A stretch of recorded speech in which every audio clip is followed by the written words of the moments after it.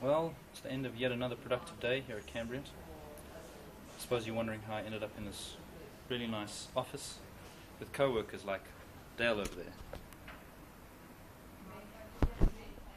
Let me take you on a little journey. Follow me.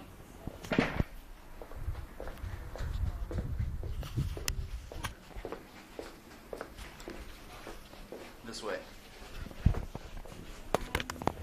I used to work freelance, just chilling at home by myself, minding my own business.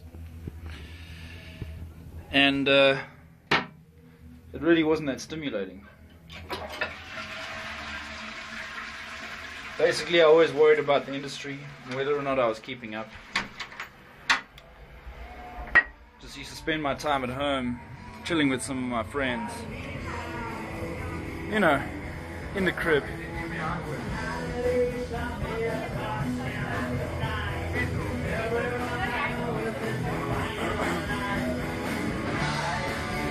So I, uh, I gave some thought to maybe uh,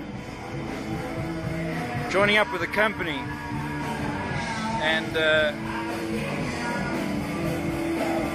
you know, getting my life together.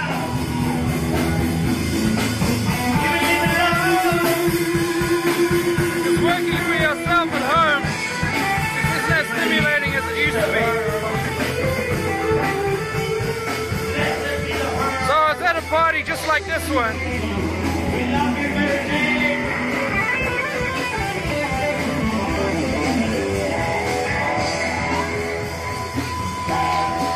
And that's where I met up with Jared. And he suggested maybe I come work at Cambrient. And I was like, yeah, what the fuck? I'll change my ways. That's not really what happened. and then I got in my car and I went to Cambrient. National my friends. Yes, go South Africa. Don't be denied.